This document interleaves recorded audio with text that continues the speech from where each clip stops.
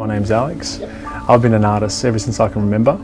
Um, eight years ago I decided to open the Sydney Art Store and reason being is the fact that I went to the National Art School as a student, uh, always struggled to buy materials and I thought um, after graduating what better way to have materials and use the best quality whilst at the same time continue my passion and I thought what better way than to open a store with the help of my parents of course.